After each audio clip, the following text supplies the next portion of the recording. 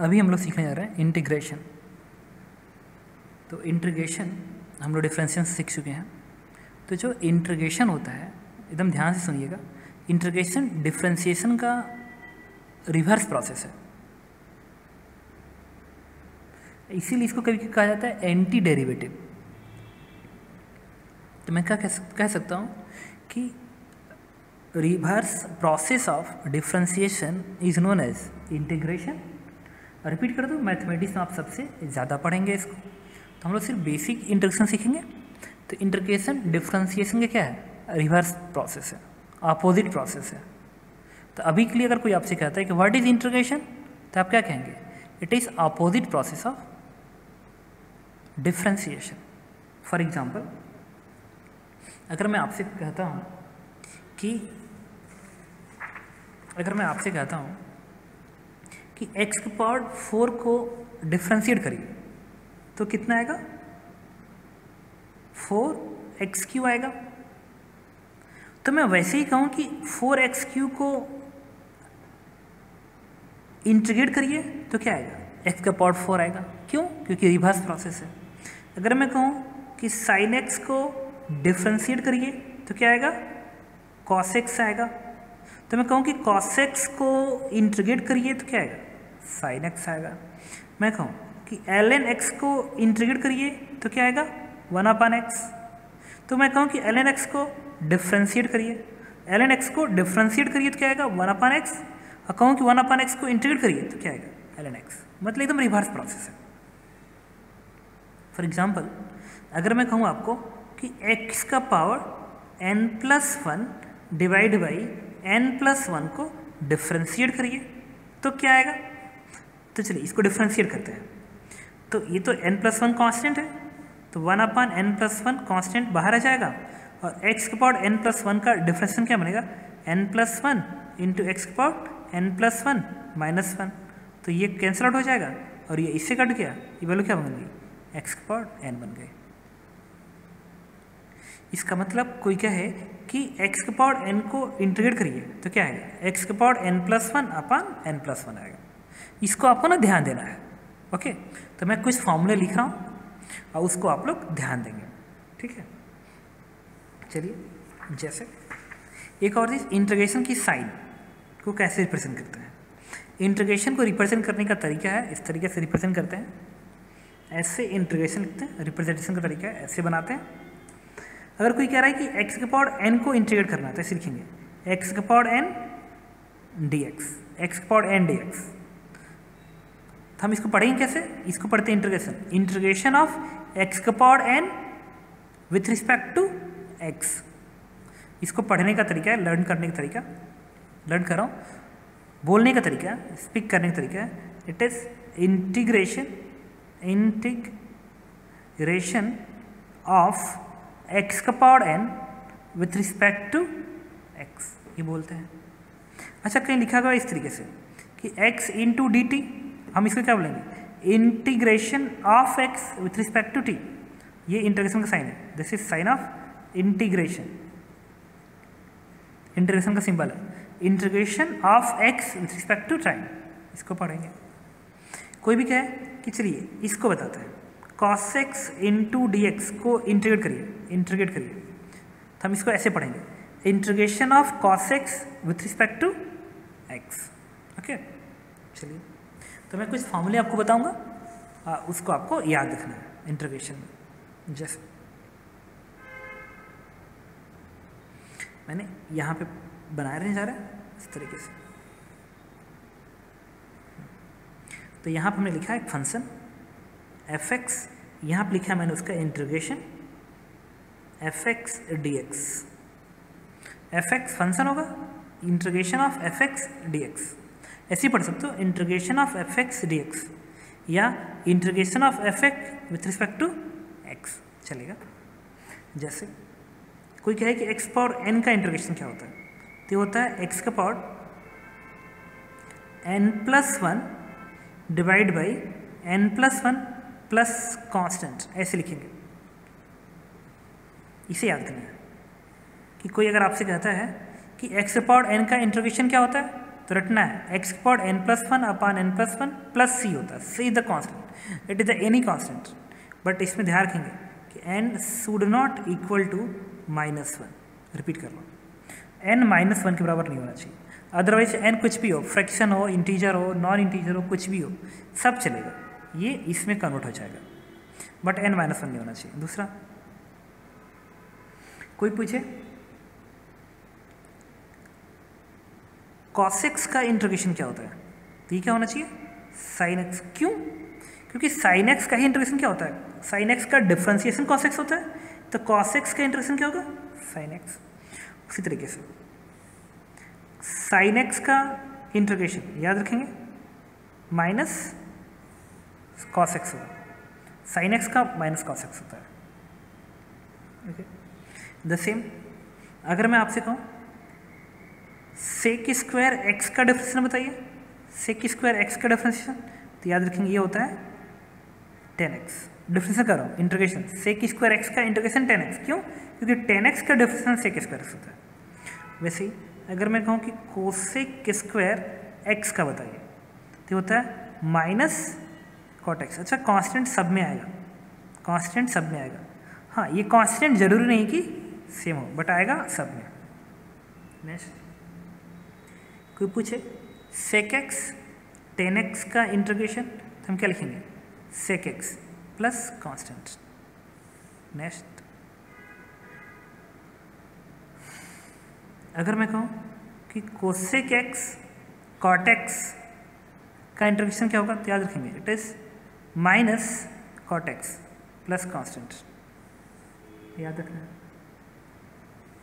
कोई क्या है कि वन अपान एक्स का इंट्रोगेशन बताइए। तो ध्यान रखेंगे। क्या होगा? एल एन एक्स क्यों? क्योंकि हम जानते हैं कि एल एन एक्स का डिफ्रेंसिएशन क्या होता है? वन अपान एक्स सेम अगर कोई कहता है आपसे अच्छा ये जो है ना, अगर आपको रिप्रेजेंट ही करना हो, इसको रिप्रेजेंट करना हो, यहाँ पे तो आप एक और चीज़, कोई पूछे वन का इंट्रोगेशन वन का इंट्रोगेशन क्या होगा? तो हम लोग क्या लिखेंगे? इट इज़ वन का integration it is x one का इंट्रोगेशन एक्स लिखेंगे। इसको आप यहाँ लिख दीजिए वन का इंट्रोगेशन एक्स लिखेंगे। अगर कोई कांस्टेंट है तो उसका इंट्रोगेशन क्या लिखेंगे? सी एक्स लिखेंगे। बस, इसको ध्यान रखना। ओके अब कुछ चीज़ें और, जो आपको अलग से मैं बता दूँ रिमाइंड करवा दूँ। ये तो चीज़ें ठीक है, अपनी जगह पे है। इसके अलावा, कहीं भी अगर आपके सामने ऐसा बनता है कि इंट्रीगेशन ऑफ़ डी एक्स बताइए कितना तो एक्चुअल में ना फ़ंक्शन एफ़ एक्स है फ़ंक्शन एफ़ एक्स है। और अगर इसको इससे कंपेयर कराएँगे तो डी एक्स डी एक्स मिल गया तो फ़ंक्शन आगे का फ़ंक्शन वन होगा ना, ये तो वन डी एक्स जैसा होगा तो वन तो वन का इंट्रोगेशन क्या होगा? एक्स तो ध्यान रखेंगे, इसका इंट्रोगेशन होता है एक्स प्लस सी ये आपको याद रखना है। ठीक है? ये आपको याद रखना है। द सेम अगर कोई कह रहा है कि इंट्रोगेशन ऑफ़ बताइए सी डी एक्स कितना होगा? सी डी एक्स तो कंपेयर करिए तो सी क्या है? एफ़ एक्स बराबर है। तो सी इंट्रोगेशन क्या लिखेंगे? सी इंटू एक्स प्लस एक नया कांस्टेंट सी वन लिखेंगे। एक नया कांस्टेंट सी वन इसमें सी इसमें सी चूँकि यहाँ पे सी लिख रहा है तो बेटर है इसको क्या लिखना है? सी वन लिखना है। इसमें एक नया कांस्टेंट सी वन कर दिया। ये बन गया इतना। अच्छा कांस्टेंट हमेशा इंट्रोगेशन से बाहर भी आ सकता है। जैसे इसी को कोई चाहता तो ऐसे भी कर सकता सी को बाहर निकालेगा, बनेगा डी एक्स तो सी और एक्स के एक्स का इंट्रोगेशन क्या होगा? एक्स तो एक्स एन प्लस एक नया कांस्टेंट सी वन लगाना पड़ेगा, क्योंकि ये दोनों सेम ज़रूरी नहीं हो कि हो। तो एक तो आपको इसे याद रखना था, इसे याद रखना है। ये पूरी वैल्यूज़ आपको याद रखनी है ओके चलिए, एक और लिख लेते हैं। ई का पावर एक्स का इंट्रोगेशन याद रखेंगे कि ई का पावर एक्स होता है ओके तो इतने इंट्रोगेशन के फ़ंक्शंस फ़िलहाल हमको याद रखने हैं। ओके अब इसका एप्लीकेशन देखेंगे। कुछ एग्जांपल्स करते हैं, जैसे इंट्रोगेशन ऑफ़ मैं कहूँ एक्स स्क्वायर डी एक्स को इंटरग्रेट करिए। अच्छा इसमें एक और चीज़ बता दूँ आपको, जो अलग से आपको याद रखना है। ये। तो कोई क्या है कि integration of x d x कितना होगा? तो यह याद रखेंगे, ये होता है x square by two plus one चलिए, सबसे पहले मैं आपको ना प्रूफ बता दूँ। इस इंट्रोगेशन का प्रूफ क्या है? प्रूफ बट इसको याद रखना एक्स डी एक्स का integration x square by two one c d x का c x plus c one d x का एक्स प्लस सी प्रूफ करते हैं इसका। अच्छा इसको अगर कंपेयर कराएँ तो ये किससे मैच करता नज़र आ रहा है? इस फॉर्मूले से? ये जो है दिस वन ये इससे मैच कर रहा है। क्योंकि x है, यहाँ पे x पॉड n जैसा है। तो अगर इसको इसको कंपेयर कराएँगे तो n क्या मिल जाएगा? वन मिल जाएगा, क्योंकि यहाँ एक्स पॉड वन है और यहाँ पे एक्स पॉड एन है। तो कंपेयर करने पे बाद क्या मिला? एन की वैल्यू वन मिली। तो इसका इंटरेक्शन क्या होता है? ये तो आप क्या लिखेंगे? एक्स का पावर एन की जगह पे one plus one divide by one plus one n की जगह पे वन तो वैल्यू क्या आ गई? एक्स स्क्वायर बाई टू बन गया integration x square by two plus constant c okay इसका प्रूफ कर लिया अब इसका प्रूफ करते हैं। डी का प्रूफ तो डी एक्स आगे वन है ना? डी एक्स आगे वन है। तो आप इसको क्या सकते हैं? Integration of one d x तो वन वन को आप चाहे लिख सकते हो। एक्स का पावर ज़ीरो जैसा। एक्स का पावर ज़ीरो जैसा। लिख सकते हैं? इसको अगर इसे कंपेयर करा दें तो एन की वैल्यू क्या आ गई ज़ीरो मतलब एन की वैल्यू क्या मिल गई? ज़ीरो तो कैसे इंटीग्रेट होगा? एक्स का power zero plus one zero plus one divide by n plus one zero plus one तो ये क्या बन गई? एक्स बन गई। दिस इज़ एक्स जो मैंने लिखे और कॉन्स्टेंट तो अलग से आएगा। ही तो आपको इसको इसको इसको याद रखना है। ये नहीं कि हमेशा प्रूफ करने लगे। ठीक है? D x integration x plus c c d x का c x plus c one x d x का x square by two plus c अब एग्जाम्पल्स करते हैं.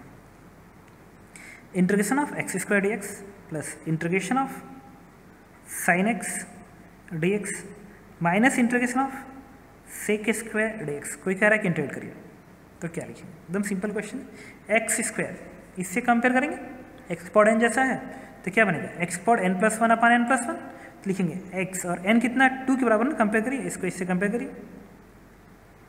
तो एन टू तो क्या बनेगा? एक्स पॉड टू एन की two plus one upon two plus one लिखेंगे two plus one divide by two plus one और एक constant C plus sine x का इंट्रोगेशन देखिए।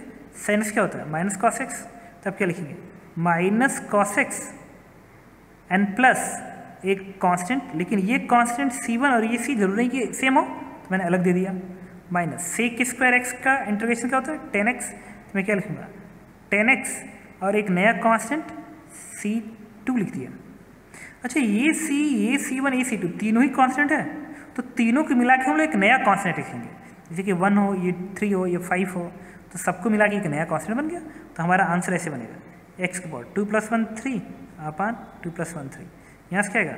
Minus cos x. यहाँ से क्या आएगा? माइनस टेन एक्स और एक नया कांस्टेंट, लिख लिया। एंड दिस इज़ आंसर कुछ नहीं। जब भी आपको इंटीग्रेट करना हो, आप इधर से चेक करेंगे और उसकी वैल्यू इधर प्रेस कर देंगे आंसर अच्छा आएगा। एक क्वेश्चन और करते हैं। जैसे आपको दिया गया हो integration of three x square plus x minus two into d x को इंटीग्रेट करना है। तो हमें कुछ नहीं करना है। इन सबको अलग अलग लिख लेंगे अलग अलग तो ये बनेगा integration of three x square d x plus integration of x d x minus integration of two d x अब करेंगे इसको इंटीग्रेट थ्री तो कांस्टेंट है कांस्टेंट हमेशा बाहर आता है इंटीग्रेशन से। और एक्स स्क्वायर का इंटीग्रेशन क्या बनेगा? एक्स स्क्वायर है स्क्वायर ही तो है।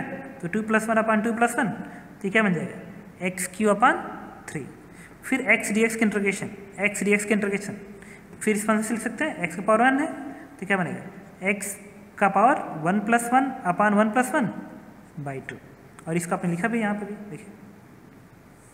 माइनस टू कॉन्स्टेंट बाहर आ जाएगा, और डी एक्स के इंट्रोगेशन क्या होता है? एक्स आपने लिखा है एक्स तो हो गया टू एक्स एंड प्लस सारे कॉन्स्टेंट मिला के एक नया कॉन्स्टेंट लिख दिया. हो गया इंट्रोगेशन तो इंट्रोगेशन एकदम सिंपल तरीके से हम लोग अटेम्प कर रहे हैं. ओके, चलिए, कुछ क्वेश्चंस और करते हैं। इसी क्वेश्चन में कहे आपसे कि इंटीग्रेट करिए। बताइए integration of one upon x root x d x का इंट्रोगेशन क्या होगा? इसको क्या इंटीग्रेट करने का अब ये तो हमें समझ में नहीं आ रहा कैसे इंटीग्रेट करना है। क्योंकि ऐसा फॉर्मेट तो हम पूरे इसमें कहीं नहीं देखे बट ये एक्स पॉड एन है ना, हम चाहें तो इसको एक्स पॉड एन के फॉर्मेट में लिख सकते हैं। कैसे? ऐसे। इंटीग्रेशन ऑफ़ लिख सकते हैं one upon x power one upon two d x और इसको फिर आगे बढ़ा लिख सकते हैं क्या? X power minus one upon two into d x इसके ऊपर भेज दिया तो बन गया और ये फॉर्मेट और ये फॉर्मेट एक्स के पावर एन वाला फॉर्मेट एग्जैक्टली सेम है। तो हम लोग इसका हेल्प लेंगे, इसके साथ से तो क्या लिखेंगे? इंटीग्रेशन ऑफ़ एक्स के पावर एन प्लस वन तो एन तो माइनस हाफ़ ही है। तो minus half plus one divide by minus half plus one and plus एक नया कॉन्स्टेंट इसका इंटीग्रेशन तो ये कितना बन गया? ये बनेगा एक्स का पॉट माइनस हाफ़ बनेगा तो एक्स का पॉट एक्स का पॉट हाफ़ बन जाएगा, नहीं? और ये बनेगा क्या? Minus one by two plus one one by two plus c तो हम इसको क्या लिखेंगे? रूट एक्स और टू का टर्म ऊपर आ जाएगा and plus c and this is answer तो जब भी ऐसा फॉर्मेट होगा तो उसको अपने फॉर्मेट में बदल के कर देंगे इंटरगेट।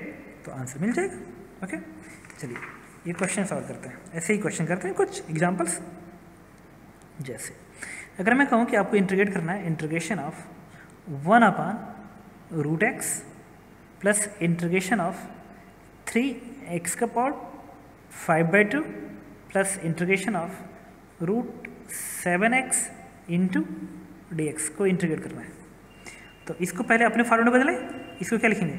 एक्स का पावर माइनस हाफ़ बनेगा, और इससे क्या बनेगा? वन अपान थ्री एक्स का power minus five by two और यहाँ से क्या आएगा?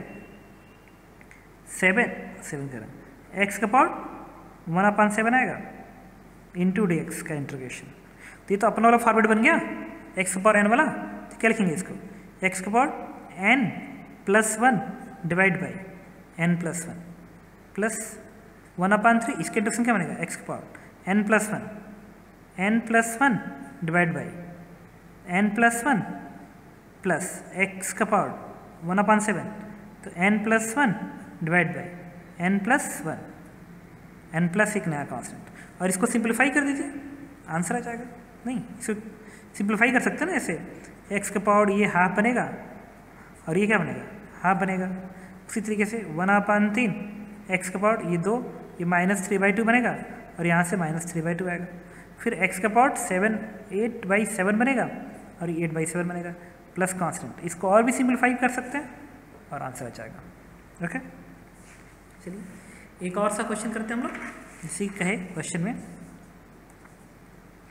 इस तरीके से क्वेश्चन कह रहा है कि integration of